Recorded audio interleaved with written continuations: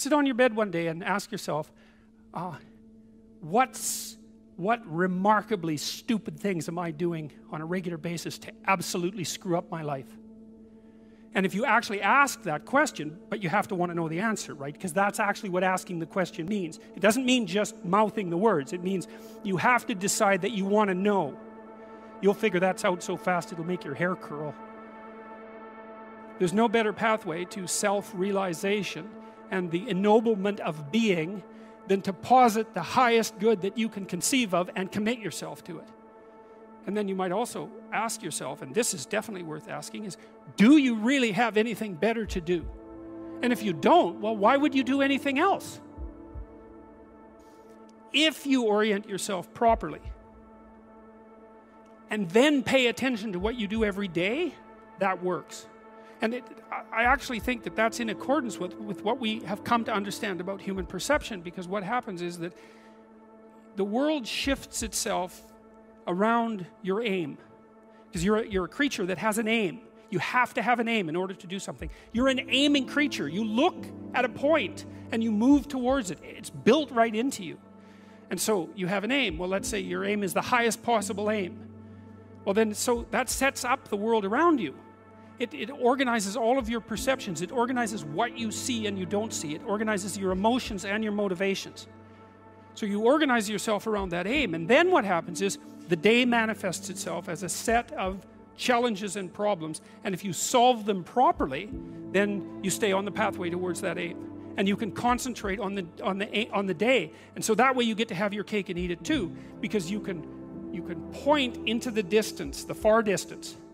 And you can live in the day. And it seems to me that that's that makes every moment of the day supercharged with meaning. That that's how because if everything that you're doing every day is related to the highest possible aim that you can conceptualize well that's the very definition of the meaning that would sustain you in your life. Well and then the issue is well back to noah. Well all hell's about to break loose and chaos is coming. It's like when that's happening in your life you might want to be doing something that you regard as truly worthwhile because that's what will keep you afloat when when everything is flooded and you don't want to wait until the flood comes to start doing that because if your ark's half built and you don't know how to captain it, the probability is very high that that you'll drown. Ask and it shall be given you. Seek and ye shall find. Knock and it shall be opened unto you. For everyone that asketh receiveth, and he that seeketh findeth, and to him that knocketh it shall be opened. That sounded pretty optimistic again. But, but again, I think it's a description of the structure of existential reality, and, and by, by which I mean when I'm in my clinical practice and I observe, and this is also the case with my students, is let's say people's lives aren't what they would like them to be. And so then you ask, why? Well, forget about tragedy and catastrophe because that's self evident, and we're not going to discuss that although the degree to which you bring about your own tragedy is always indeterminate. But I would never say that every terrible thing that is visited on a person is something they deserved. I think that that's a very dangerous presupposition, especially because everyone gets sick and everyone dies.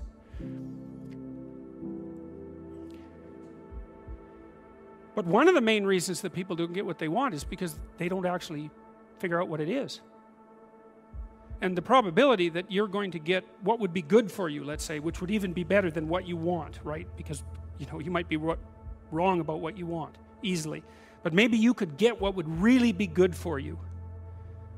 Well why don't you well because you don't try you don't think okay here's what I would like if I could have it and, and I don't mean I don't mean in a way that you manipulate the world to force it to deliver you goods for status or something like that. That isn't what I mean. I mean something like imagine that you were taking care of yourself like you were someone you actually cared for. And then you thought, okay, I, am caring for this person. I would like things to go as well for them as possible. What would their life have to be like in order for that to be the case? Well, people don't do that. They don't sit down and think, all right, you know, let's, let's figure it out. you you've got a life. It's hard, obviously. It's like three years from now, you can have what you need. You've got to be careful about it. You can't have everything.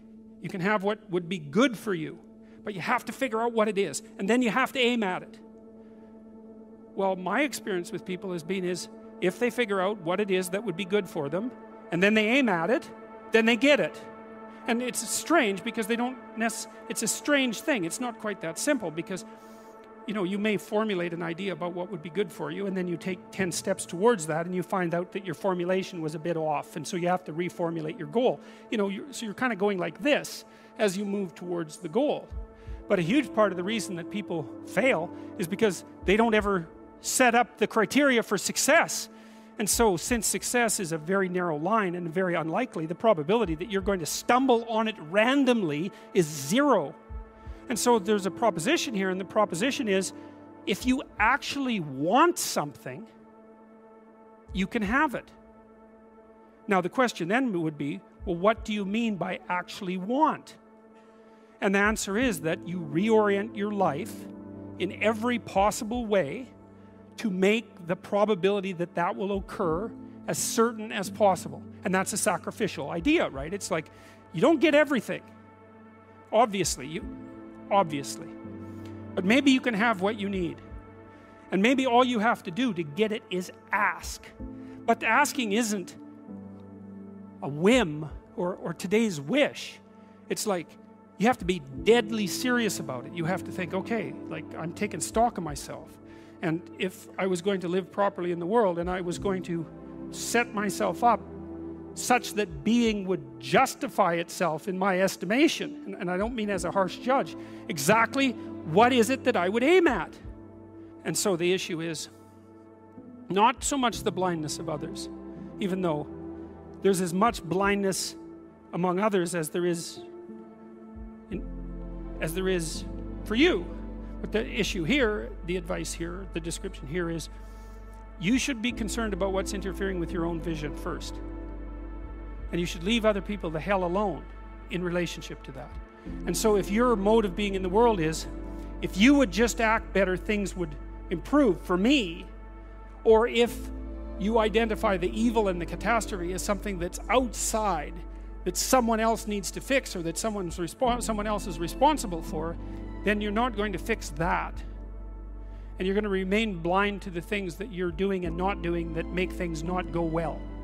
And so it's just better to think, all right, I'm probably blind in many, many ways. And maybe there are some ways that I could rectify that because it's highly probable that you're blind in all sorts of ways. I mean, it's, it's, in fact, it's virtually certain. And so it's just more useful to think, how is it that I'm wrong in this situation? I'll tell you something that I learned to do when I was arguing with my wife, which happened quite frequently because when you actually communicate with people, you find out that there's many things that you don't agree on. And that's because you're actually different creatures. And so, if you're actually going to have a truthful conversation, then you're going to find out that you don't see things the same way. And then you can either pretend that that's not the case and gloss over it and then end up in a 30 year silent war